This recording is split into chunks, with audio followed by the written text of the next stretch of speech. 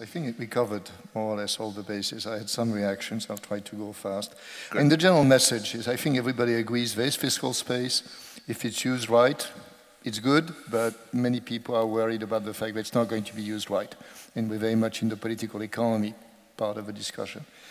Uh, on, the, on the various issues, I mean, will interest rates remain low? For sure, no. It, they might well increase, but we have to think about why. I think for a country like Italy. The reason why the interest rates may just shoot up is because the government becomes irresponsible or they talk of euro exit, and then you see the spreads increase enormously. So it's self-inflicted. Uh, it doesn't have much to do with the level of debt. If I look at the spreads that Italy has had over the last uh, year, I think most of the movement and the level was due to some people not in government but close talking about euro exit. So I think that's one reason yeah, if this happens, that's clearly trouble. I think the other reason why interest rates might actually increase is that growth prospects become better. But in this case, you know, what matters is R minus G, and therefore this will not be so bad. So yes, we have to plan, taking into account the fact that there are risks, and it could change. But we do this all the time, and we don't impose capital ratios on, on banks of 100%, which would be the riskiest thing to do we choose them so that the risk is small, but not zero, right? So I think most decisions in macro policy or regulatory uh, policy is actually balancing risk, and it seems to me the risk is small. Uh, second point, yeah, debt, let me repeat something I said many, many times in the last six months, debt is bad. debt is bad. What it is not is catastrophic. And therefore, if you're going to use debt, you have to use it for something useful so that the benefits exceed the cost. But debt by itself is not a good thing. You don't want to just have more debt. So it matters enormously what you do with the margin of maneuver that you uh, decide to use. So I completely agree with uh, Alberto that there is a risk. I mean, we all think public investment at some level would be good, but we've seen white elephants in the past. Uh, there's an enormous need to do things for global warming, but there's a danger that it's not done right.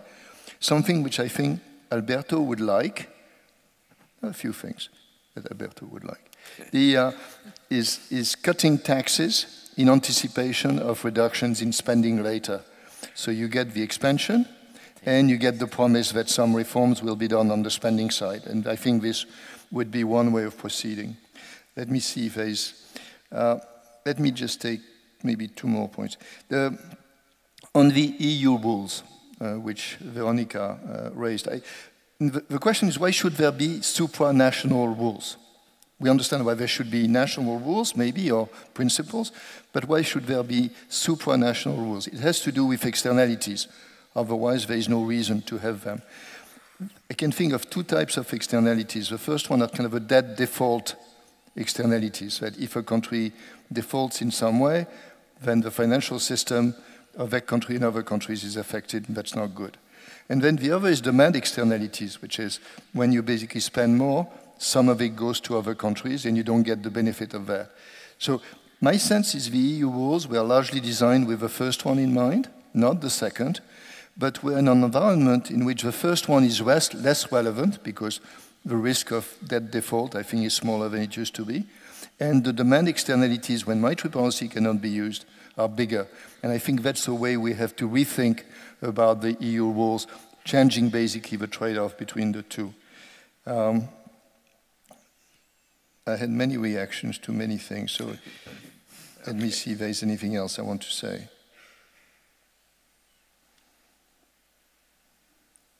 I may come back to other issues, but I'll okay. stop here. Very good. Alberto. Yes, thank you. So first of all, let me just say one thing. Uh, Stan kept talking a lot about the Italians at MIT. Let me say there are a lot of Italians at Harvard too. Yes, uh, yes. Uh, uh we did not, did not have Franco, but the Italians came anyway. Now, um, of course, uh, Richard, of course, it matters which taxes you cut and which spending uh, you cut and what you do of course. But let me say one thing. There is this view that if you want, if you want to, uh, to cut taxes, you are right wing. If you want to increase the spending, expenditure, you are left wing. And that's what implicitly in the little joke that Olivier said about, uh, said about me. That may be true if you're talking about a Latin American country where the debt the spending over GDP is 15%, and only the poor pay taxes because the rich evade them. Uh, but in a country, in a, in a European country where government spending over GDP is 60%, I think, uh, I think that you can certainly cut taxes to the, uh, to the, and I would be all in favor to the lower middle class and make, make more redistribution through the tax system and eliminate 5 or 6% of spending over GDP without affecting at all the welcome of the very poor. So it's a little bit, a little bit old, uh, it's a little bit old, the idea that if you like spending, you're, you're a good guy, left wing, that you like the poor. If you cut taxes, you're a bad guy because you're a right winger. So let's forget about that for a second. Second, um, Charles, you say that we, we, all agree on cyclical fiscal policy. Let me clarify a bit. Yeah. We certainly all agree around the table that, that um, automatic multiplier should work. So when there is a recession, you should have deficit. When you have a boom, you should have a surplus and all of that. Whether or not you should have an aggressive discretionary fiscal expansion uh, has something to be more debatable. And the reason goes back to what Milton was Phil, uh, Milton was saying about long and variable lags. He was talking about monetary policy. The long and variable lags of fiscal policy are, are even, even, uh, even bigger. So, you know, one has to be a little, you know, I'm not, it's not obvious that all of a sudden. And that, and, and that goes back to the, to the other point Olivier said that uh, we cannot be 100% sure when we make a decision. It's, of course, 100% right uh, excuse me the pun, uh, is 100% right. We should not be 100% sure. But, uh, but, I would say something perhaps slightly less, uh, slightly, slightly more profound, namely that, that uh, it seems to me that macroeconomists and central bankers tend, they, in the past, a market, market uh, operator, in the past they, they tend they have been wrong in always in the same way, namely in projecting to the future what was happening in the past. So even macroeconomists, when there was the, before the financial crisis, there was the great stagnation, say, sorry, the great moderation, and, and, and, everybody thought, oh, business cycle are over, uh, we, need, we need to do anything, we have fiscal rule, monetary rule, wonderful, we are in nirvana. And, and there were papers written about that. Then we had the financial crisis, that all of a sudden the capitalism as we, as we know it, or the human race is gone. We are back to 1929, it's a complete disaster. And so, uh, so uh, then with growth is low for a few years, secular stagnation. So I would suggest a bit more uh, moderation in, in, uh, in projecting to the future uh, the last, uh, the last uh, 20, the last, uh, what happened in the last, in the last 20 years. I think that we also, a little bit about this service uh, to our procession to say, uh, to, to claim that we know what's going to happen in 20 years or, or, or, or, you know, let's try, let's be a little bit more modest. We don't really know. And, and, uh, and the, capitalism has worked in a certain way with ups and downs, interest rate going up and down, inflation going up and down. And every time I hear that the new, the new, uh, the new normal is the, the great moderation, the new normal are financial crises every other day, the new normal is secular stagnation, you know, these new normals seem to be changing a little bit too often to be normal. Abnormal. Uh, Veronica. Yeah, so um, just to clarify first, when I was talking about, uh, at the end of my remarks, about um, strengthen uh, fiscal automatic stabilizers, I was talking about national, national policy. So short of uh, coordinated fiscal policy, I, was, I wanted just to reinforce that uh, each uh, country should uh, strengthen some fiscal automatic component of the fiscal policy. But going now instead to, to Europe uh, and to the, um, how to design better fiscal rule, because there has been a lot of discussion about the complexity of the current ones, and actually sometimes they're too much complex, sometimes they're too flexible, sometimes they're too tight, it's, it's not clear. And uh, um, there has been a, a, a proposal that I think it's very um, appealing, which is instead of uh, talking in terms of caps of uh, the structural deficit, which is something that is hard uh, to measure, uh, especially if you want to cyclically adjust, adjust it, and that creates some uh, cyclical uh, fiscal um, policy.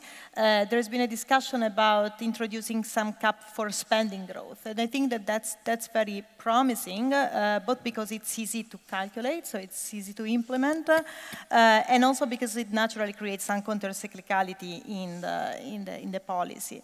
There has been also some proposal that has been uh, done, uh, I mean, that I heard from um, group of uh, uh, German and, and, French economists, seven plus seven, uh, about introducing some form of uh, uh, insurance, unemployment insurance or reinsurance, how they call it, uh, among European countries. And I think that is also a valuable proposal, although I realize that it's very hard to implement. But I think it's good for two reasons. one, it's because um, it's another form of automatic stabilizer, unemployment insurance.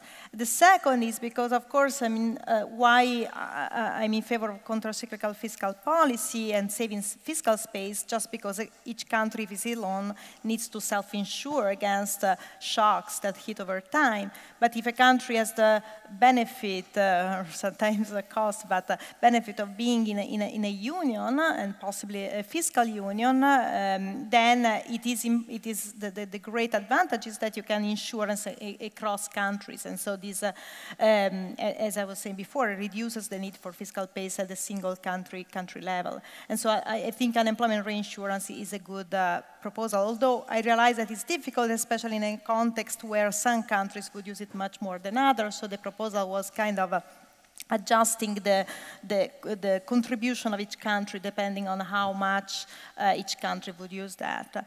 Um, so the last thing I want to say is that uh, um, in terms of Italy, uh, so why I, I, I want to push this counter-cyclical uh, fiscal, uh, um, fiscal uh, policy? Well, because uh, unfortunately, I mean, fiscal responsibility in the end is the important thing in terms of spreads if we want to uh, foresee uh, the markets and how the spreads are going to respond. And, uh, and, and for political reasons, of course, it's always easy, especially in Italy, it's been easy to, as long as, long as you have, uh, as soon as you have some fiscal space to use it. So we always have a tesoretto. As soon as we have a little bit of a fiscal room, uh, there is, uh, so the government find a way to use these extra resources in, in any moment, independent of, of the expansion. Spend it all and more. exactly. Except, except so and I think, I mean, I, I think that I, I realize what, why, did, where this coming from, but, but I think it's not wise, especially if you want to save the country from, from bad period of, uh, of recession when you really need uh, to, to act uh, instead in an expansionary fashion. I'll stop here. I, I just want to mention, uh, to make two points. The first is uh, a quote from a, a book on monetary policy written by John Crow, who was the governor of the Bank of uh, Canada during the 1990s. And he said he made it a rule never to mention fiscal policy. He said because he knew exactly what would happen. The next morning, the finance minister would call him up and we should get together and we'll make a deal. And uh, you'll uh, cut the interest rate and I'll cut government spending. He said, and I knew what would happen. I would cut the interest rate, and two years later, he'd be coming into my office. Well, I haven't yet been able to convince the Congress uh, to uh, cut, uh, uh cut spending. And so I just never talked about fiscal policy at all. I managed monetary policy. That sort of backs up what several of you have mentioned as what's wrong with what I was uh, saying. But you agree with John Crow? I don't. Huh? Well, do you? Uh, I, I, uh, I, let's let me get to my second point. my my second point is very simple. Why this focus on fiscal policy, uh, on increasing it? I I was so struck by the fact that both parties in the United States in the elections were explaining how they were going to go out and build, uh, build infrastructure and everything. Uh, the guy whose side won then went out and passed a bill which he described as being very constructive for the economy and would increase growth by this much and that much. And in fact, it did, very no it did almost nothing for growth. And the uh, evidence on what happened to the tax cuts were that they went almost all to the uh, most wealthy parts of the income distribution. And uh, so I don't think, uh, Charles, that looking at where the cuts are going to have an effect or the uh, increases in, uh, in, in spending if it's, uh, if it's a fiscal expansion, I don't think that looking at how they're going to be divided up among uh, the income distribution is a bad idea. I think if you could actually get them to do the calculations right, it would be a good idea. Charles. Well, I was I was worried about. I, I, of course, any uh, discussion of income aspects of government spending is absolutely needed. There's no discussion. I was worried that if you do the he strict helicopter money, not your version, but if you do the strict helicopter money, then you get saddlebags deep in income redistribution issues, and that's something I believe they shouldn't be touching. That's the John Crow, I guess, story. Um, I just want to comment a little bit about what Veronica said about uh, a cap on government spending. It's emerging, at least in Europe, as the, as the new solution to uh, fix the Stability and Growth Pact. Um, and the idea is we have moved to targeting the cyclically adjusted budget deficit, and that's so complicated and so imprecisely done that uh, we, it's not a good instrument. So let's find something that the government can really control. The government cannot control the budget deficit, but it can control government spending. And here we are, we home. That's something that everybody can see, and that's the right instrument. Simplicity, uh, Francesco style, uh, but maybe too simple. I want to make a few points about that. First, the, the, the, government target is supposed to be determined by the growth rate of potential GDP. Haha. So we bring back, we don't want to, to, to rely on potential GDP computation, but it comes back through the targets for government spending, so it doesn't come for free. Second, of course, uh, controlling government spending does nothing about controlling the budget deficit. You have the other size of the scissors. So the pro proponent of that have improved their uh, offering by saying, well, we're going to look at taxes without uh, discretional changes and so on and so forth. So now you're not in simplicity anymore. You open the door to all the tax manipulations, the niche, and all of these things that exist. Uh, so I'm worried uh, uh, that uh, that's that. Uh, finally, um, why should we have a rule that set government spending increasing at any rate? Some countries may want to increase government spending for good reasons. Others may want to cut government spending for good reasons. So enshrining a path for government spending in the, in the Stability Pact, it's sort of one a solution for a very different bunch of countries, and, and uh, therefore I don't think it's a good idea. But it's growing, the, the attractivity. Alberto? Yeah, I definitely I emphasize that I, com I completely disagree with the cap on government spending for both sort of philosophical, political, and economic reasons. Philosophical is because we don't have any right to tell a country, I want to have 80 percent spending over GDP. I don't have any deficit. I'm perfectly happy to tax my people 80% because I love government and, and why should you tell me what to do? As long as I don't create deficit, I don't create uh, financial problem for other people. In fact, it may become another reason why uh, Europe is hated by the hypothetical country that likes 80% uh, spending over GDP. So, so philosophical and political, I think is is is uh, is uh, is, um, is is uh, is a bad idea. Did you? Uh, Can I say something? yeah. So, I mean, uh, I agree with the, com- compl- I mean, that is not so easy if once you think about what this cap will be, because you have to calculate, I mean, it has been proposed together with deciding what is the potential debt uh, or sustainable debt for each country. But still, at least what you are looking at is simple, and, uh, and you can, I mean, you, the, the rule is going to be simple. I think it's still simplified relatively to the structural debt limit, I think. Uh, and, and, and, I mean, you can always grow less than the cap. This is a cap, right? It's not that the, the, the, the European uh, countries are going to tell you you have to increase spending uh, by this amount. So, I mean, it leaves you some flexibility in the downside. And I agree it's not perfect because you impose some, some, some rule uh, that and, and the country should have flexibility. But as long as we are in a union and you want to have some form of control over, over a country, I think this is a better, uh, what- better but what- what- what- if, if, if a country has 80% of uh, spending over GDP and no deficit, what kind of a problem is it created to the others?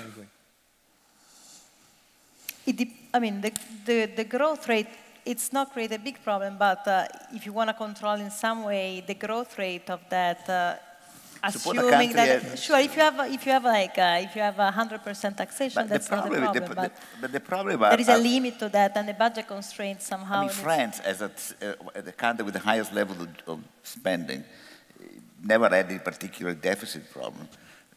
What kind of problem is it creating? It's not a perfect Maybe rule, I creating problem for the French people, but not, but not for the other Europeans. So I don't, I don't see what the problem for a country having 80% and the other 40. If I, I, I thought you wouldn't care because you don't want to increase the Yeah. spending anyway.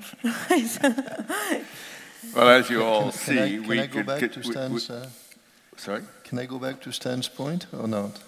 Go ahead. One final intervention. Final intervention.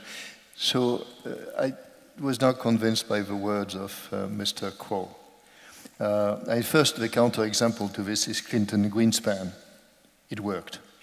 There was a lot of talk behind the scene, and it worked. The second is, I think, a more general issue which we have to think about. Can there be central bank independence and coordination? And my sense is yes. Uh, I think that's one of the things that we have to work out in Europe because there is no counterpart to Mario Draghi or to Christine Lagarde. There is no Euro fiscal czar, and that complicates things. But I have no logical problem with the notion that you can have an independent central bank coordinating, making contingent some decisions based on what the fiscal authority does. And I suspect that in the current context and in the coming years, it will be essential. Yes, I think I did it. Thank you. We could spend the rest of the evening talking about central bank independence. That's another, Yeah. another big bag of, of wool.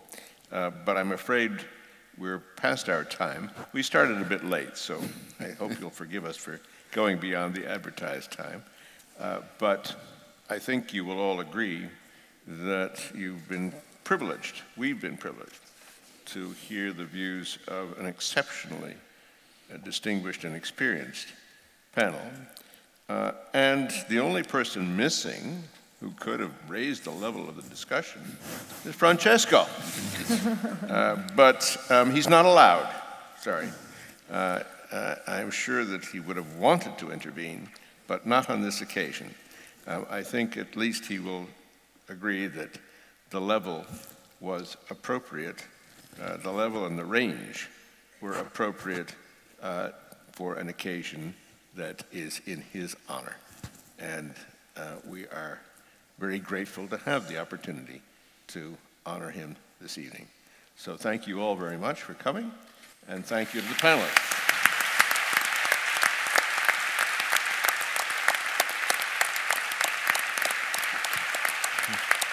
Ça va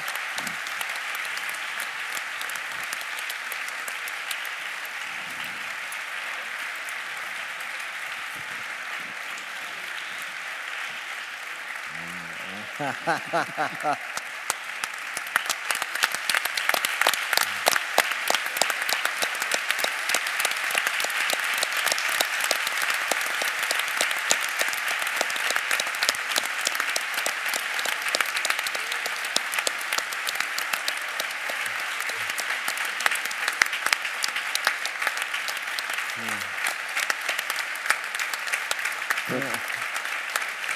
Pauvre, le pauvre